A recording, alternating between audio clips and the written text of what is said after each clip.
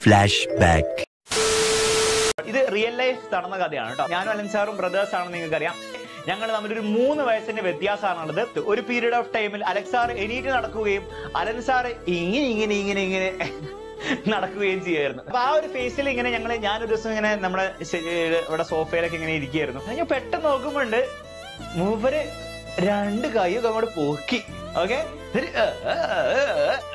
ആദ്യമായിട്ട് അപ്പൊ Allen sir എണീറ്റ് നടക്കുന്ന ഞാനും എല്ലാരും ലോകം കാണുന്നത് അലക്സ് സാറിന്റെ കണ്ണിലൂടെയാണ്.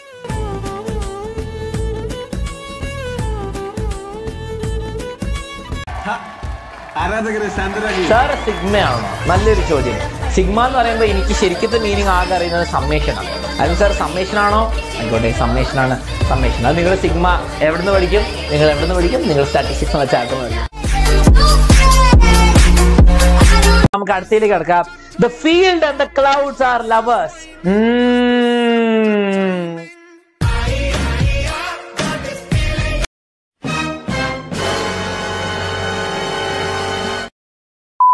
celebration exam കഴിഞ്ഞാൽ ഒരു സിമ്പിൾ ഒന്നോ ഫാമിലി ആയിട്ട് കഴിക്കുമ്പോൾ നിങ്ങൾ എന്ത് ചെയ്യുക എക്സാമിനറിനെ ഇതും കൂടി കൂടി കാണാം. ഓക്കെ അപ്പൊ ഒക്കണം. പോരാ പോരാ പോരാ. ഒന്നുകൂടി. ലാസ്റ്റ് ടൈം അലൻ സാറിനെ വല്ല പ്ലേ സ്കൂളിൽ വിടുന്ന കാലായി തോന്നുന്നു. അതിന് വേണ്ടി എക്സാമിന് തെരഞ്ഞെടുത്ത ചാനൽ ഏതാ അറിയോ? പറയൂ. ഏതായിരിക്കും? നിങ്ങളുടെ channel S S L S S L C എക്സാമിനറുടെ software? Books